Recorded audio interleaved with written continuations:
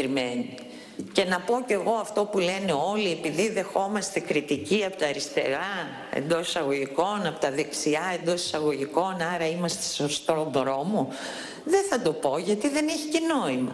Όμως το ζήτημα είναι μπορούμε όλοι με βάση αυτή την συζήτηση που έχει γίνει σε ένα καλό κλίμα θα έλεγα, χωρίς εξάρσεις και λοιπά, να προχωρήσουμε σε μία σύμπτωση ότι πράγματι τα παιδιά, τα ανήλικα που γεννιούνται εδώ θέλουν μια διαφορετική νομοθετική μεταχείριση. Αν πούμε ναι, θα τη βρούμε αυτή τη μεταχείριση και δεν θα είναι η εναετής παιδεία.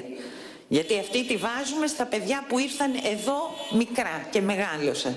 Και δεν είναι η διαφορά μιας μέρας ή όχι, είναι μια άλλη κατηγορία που είναι από μια μέρα έως δέκα χρόνια. Κατά συνέπεια, στην παρούσα φάση, λέω γιατί μετά νομίζω ότι χρειάζεται να κάνω και μια παρέμβαση πολύ σύντομη για τις διατάξεις του μεταναστευτικού κώδικα, γιατί έχουν γίνει πολλές παρεξηγήσεις, ε,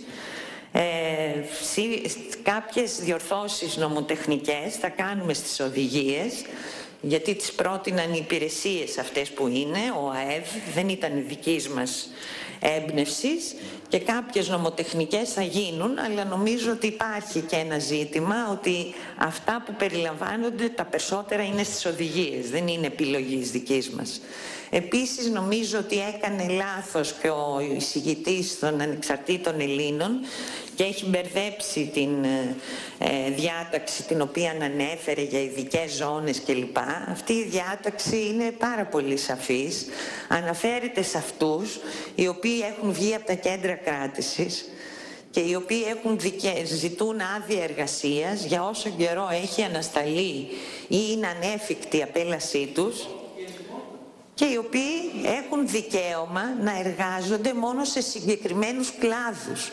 Διότι επειδή είναι μόνο για έξι μήνες, αφήστε με να σας ολοκληρώσω, επειδή η άδειά τους είναι μόνο για έξι μήνες και επειδή μπορεί αυτούς τους έξι μήνες οι άνθρωποι, μη έχοντας δουλειά, να περιπέσουν στην παραβατικότητα, βάλαμε ειδικούς τομείς της οικονομίας που μπορούν να εργαστούν. Ποιοι είναι οι ειδικοί τομείς, ειδικοί τομείς. Είναι η γεωργία και τουρισμός. Αυτοί είναι οι μόνοι που ζητάνε. Δεν υπάρχει κανένα άλλο. Αυτό, τα άλλα τα έχετε βγάλει από το νου σας, δεν αναφέρονται μέσα. Εντάξει, θα με δευτερολογήσετε. Λοιπόν, αυτή η διάταξη υπάρχει από το 11 και εμείς τη συνδέσαμε με τους ανθρώπους που βγαίνουν από τα κέντρα κράτη. Κύριε Μαυραγάνη, θα έχετε Δεν το φτιάνουμε και ούτε στην, ε, ειδικές ζώνες, και ούτε τέτοια ζητήματα. στο Αυτό κλείσιμο. αλίμονο αν ο ΣΥΡΙΖΑ ρυθμίζει ίσα ίσα, σκέφτηκε τους ανθρώπους που βγήκαν από τα κέντρα κράτησης να έχουν τη δυνατότητα μιας εργασίας σε τομείς που υπάρχει ζήτηση και γι' αυτό βάλαμε αυτή τη ρύθμιση. Όχι ότι πάμε να φτιάξουμε. Γιατί μπορεί αυτοί οι άνθρωποι σε έξι μήνες να είναι απελάσιμοι. Τώρα δεν είναι, γιατί τα προξενία τους δεν συνεργάζονται και τα γνωστά για τους λόγους που δεν γίνονται οι απελάσεις. Και τελειώνοντας, ένα λεπτό μόνο, θα ήθελα, γιατί θα επανέλθω, να πω εδώ λίγα ζητήματα, γιατί είδα ότι τα έθιξε και η συγγήτριά μας, ε, σε σχέση με την κατάσταση που υπάρχει στην Ευρώπη, που ενδεχομένως θα σας ενημερώσω και πιο επίσημα την επόμενη εβδομάδα, γιατί η Δευτέρα και Τρίτη θα είμαι στο Λουξεμβούργο στη Σύνοδο των Υπουργών Εσωτερικών για τη μεταναστευτική ατζέντα. Ξέρετε ότι μετά από μεγάλη μάχη που έχουμε δώσει όλους αυτούς τους μήνες, για πρώτη φορά η Ευρωπαϊκή Ένωση περιέλαβε και την Ελλάδα στα μέτρα που έλαβε για την προστασία των χωρών που δέχονται τις μεγάλες πιέσεις. Και η απόφαση αυτή είναι ιστορική, αλλά κινδυνεύει και γι' αυτό το λόγο θέλουμε να σας ενημερώσουμε ώστε να μπορείτε κι εσείς να έχετε και να ασκήσετε πιέσεις. Διότι η απόφαση αυτή περιλαμβάνει την έκτακτη οικονομική ενίσχυση, την οποία φυσικά δεν έχουμε πάρει ακόμα και χρειάζεται μια πίεση για άμεση εκταμείευση για να βοηθήσουμε την κατάσταση που υπάρχει στα νησιά, που δεν έχουμε δομές, που δεν, οι υπηρεσίες μας δεν επαρκούν για να εξυπηρετήσουμε όλους αυτούς τους ανθρώπους που ζουν σε σε συνθήκες αναξιοπρέπειας κλπ. Αλλά το δεύτερο και το κυριότερο είναι ότι αποφασίστηκαν κάποια μέτρα μετεγκατάστασης προσφύγων που έχουν έρθει στην Ελλάδα μετά τον Απρίλιο του 2015, οι οποίοι θα μοιραστούν σε όλες τις χώρες της Ευρωπαϊκής Ένωσης. Φυσικά ο αριθμός που αποφασίστηκε είναι 40.000 πρόσφυγες. Από αυτούς 26.000 24.000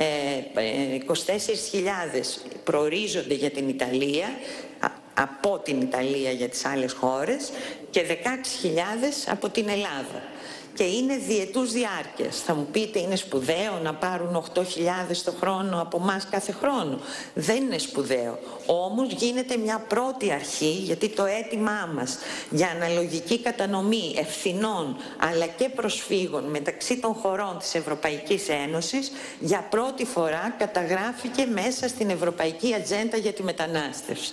Ποιο είναι το επικίνδυνο και για το οποίο σας ζητάμε και εσείς να κινητοποιηθείτε; Οι περισσότερες χώρες μετά τη δημοσιοποίηση αυτής της ατζέντας είπαν ότι δεν επιθυμούν να έχουν κανένα πρόσφυγα στο έδαφος τους και διεκδικούν αυτή η απόφαση να είναι θελοντική. Με βάση το ότι έχουν αρνηθεί αυτό και διεκδικούν η απόφαση να είναι θελοντική, καταλαβαίνετε ότι ενδεχομένως να είναι μια απόφαση που δεν θα έχει καμία εφαρμογή. Αυτός είναι και ο λόγος που θέλουμε να ασκήσουμε και εμείς πίεση για να μπορέσουμε αυτή η απόφαση να γίνει υποχρεωτική. Οι, τα επιχειρήματα που λένε είναι ότι έχουν φασιστικά κόμματα στις χώρες τους και δεν θέλουν να υπάρχουν οι πρόσφυγες γιατί θα αναπτυχθούν. Αυτό πολύ περισσότερο ισχύει και για τη δική μας χώρα. Και το δεύτερο που λένε είναι ότι έχουν ανεργία. Όμως όλοι γνωρίζουν ότι η Ελλάδα έχει τη μεγαλύτερη ανεργία στην Ευρωπαϊκή Ένωση, άρα αυτά δεν αποτελούν επιχειρήματα όταν τόσο το Δουβλίνο όσο και το Ευρωπαϊκό Σύμφωνο για τη Μετανάστευση σαφώς προσδιορίζουν κανον, κανόνες αλληλεγγύης μεταξύ των χωρών μελών της Ευρωπαϊκής Ένωσης όταν υπάρχει μεταναστευτική και προσφυγική πίεση σε κάποιες χώρες.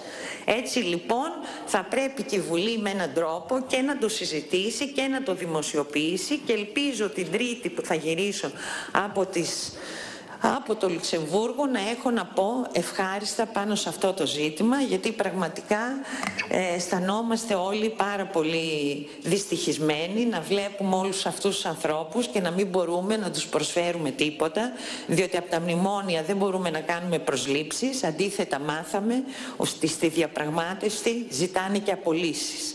Αν λοιπόν δεν μπορείς να προσλάβεις αστυνομικούς, δεν μπορείς να προσλάβεις λιμενικούς, δεν μπορείς να προσλάβεις διοικητικό προσωπικό για να το βάλεις στις υπηρεσίες ασύλου.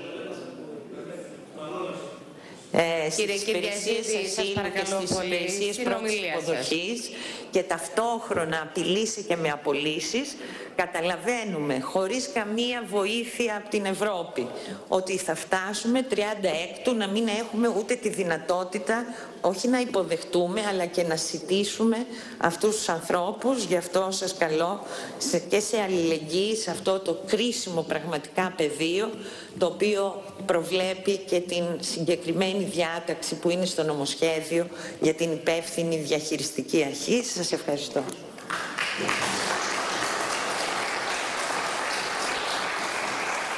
Εμείς ευχαριστούμε την ε, κυρία Υπουργό, την κυρία Τασία Χρυσοδηλοπούλου. Θα περάσουμε στον κατάλογο των ομιλητών. Θέλω βέβαια και εγώ να πω δύο λόγια μόνο στα γρήγορα, κύριε Δημαρά.